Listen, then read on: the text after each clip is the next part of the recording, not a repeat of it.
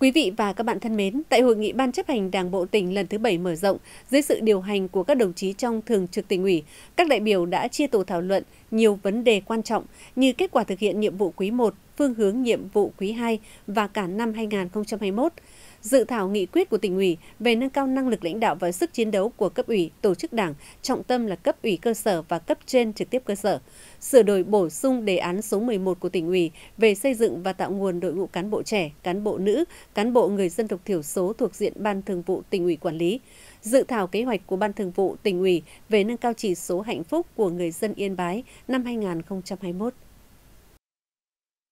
Thảo luận tại tổ, các đại biểu cơ bản nhất trí đối với dự thảo báo cáo tình hình thực hiện nhiệm vụ quý 1, phương hướng nhiệm vụ quý 2 năm 2021, đồng thời kiến nghị đề xuất một số vấn đề mới, như đề nghị tỉnh nghiên cứu mở rộng diện tích vùng trồng quế trên 5.000 hecta đáp ứng nguyên liệu cho sản xuất,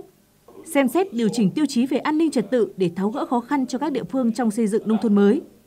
Cần đánh giá kết quả thực hiện chương trình mỗi xã một sản phẩm trên địa bàn tỉnh, có đại biểu đề nghị tỉnh xem xét thành lập mới các cụm công nghiệp trên địa bàn huyện Yên Bình để đẩy mạnh thu hút đầu tư, chỉ đạo đẩy nhanh tiến độ triển khai xây dựng lò xử lý rác thải sinh hoạt cấp xã tại huyện Văn Yên, sớm phê duyệt kinh phí triển khai đề án phát triển giao thông nông thôn năm 2021. Đề nghị tỉnh có hướng dẫn cụ thể về việc cho thuê đất rừng tự nhiên để nhà đầu tư thực hiện các dự án phát triển du lịch, bổ sung biên chế cho các phòng giáo dục đào tạo. Đề nghị tỉnh cân đối nguồn lực ứng trước kinh phí cho các địa phương thực hiện mục tiêu giảm nghèo năm 2021 do Trung ương chưa phê duyệt chương trình mục tiêu quốc gia về giảm nghèo. Đối với nghị quyết của Ban chấp hành Đảng bộ tỉnh về nâng cao năng lực lãnh đạo và sức chiến đấu của cấp ủy, tổ chức đảng, trọng tâm là cấp ủy cơ sở và cấp trên trực tiếp cơ sở, giai đoạn 2021-2025. Định hướng đến năm 2030,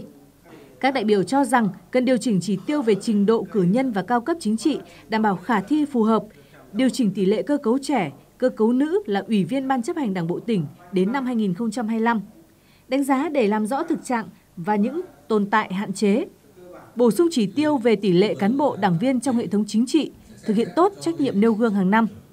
Đối với tờ trình của Ban Thường vụ tỉnh ủy xin ý kiến về một số nội dung điều chỉnh bổ sung đề án 11 của tỉnh ủy về xây dựng và tạo nguồn đội ngũ cán bộ trẻ, cán bộ nữ, cán bộ người dân tộc thiểu số thuộc diện Ban Thường vụ tỉnh ủy quản lý. Một số ý kiến cho rằng cần bổ sung giải pháp chính sách về đào tạo ngoại ngữ cho cán bộ tham gia đề án, lựa chọn cử đi đào tạo nâng cao đối với một số cán bộ nổi trội, đồng thời xem xét xây dựng khung tiêu chuẩn, tiêu chí đánh giá cán bộ thuộc đề án 11. Đối với dự thảo kế hoạch của Ban Thường vụ tỉnh ủy về nâng cao chỉ số hạnh phúc của người dân năm 2021, các đại biểu cho rằng cơ quan soạn thảo cần đánh giá thực trạng các chỉ tiêu thành phần cấu thành nên chỉ số hạnh phúc để đề ra mục tiêu phấn đấu phù hợp, khả thi,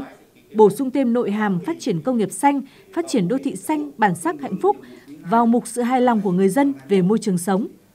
Các đồng chí trong thường trực tỉnh ủy đã báo cáo tiếp thu giải trình các kiến nghị đề xuất của các đại biểu, đồng thời chỉ đạo các ngành chức năng liên quan nhanh chóng có giải pháp giải quyết xử lý đối với những vấn đề đặc biệt quan trọng mang tính cấp bách đối với thực hiện nhiệm vụ chính trị của tỉnh. Các đại biểu đã biểu quyết nhất trí thông qua nghị quyết của hội nghị